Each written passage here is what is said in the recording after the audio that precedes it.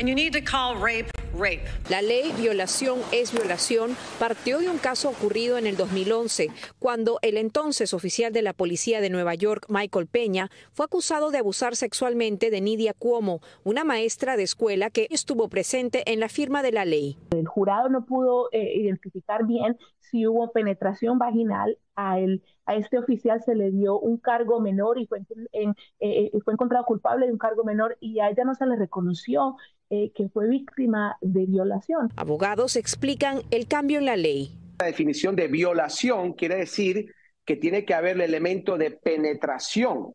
Una penetración uh, dentro, hablándolo al término biológico, del pene con vagina, quiere decir una penetración.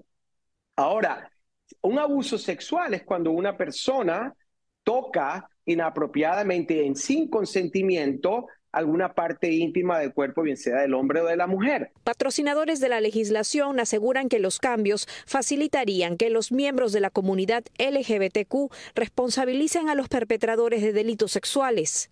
En nuestra comunidad y en nuestra comunidad latina no hablamos de esas cosas ya sea por vergüenza, ya sea por, eh, por moralidad, y creo que esto debe empezar a cambiar para que en verdad nuestra sociedad eh, reconozca a los sobrevivientes, a las víctimas. Va a ser mucho más, este, vamos a decir, más amplio para la fiscalía y los pueden este, condenar a, una, a un castigo bastante severo de hasta 25 años de cárcel.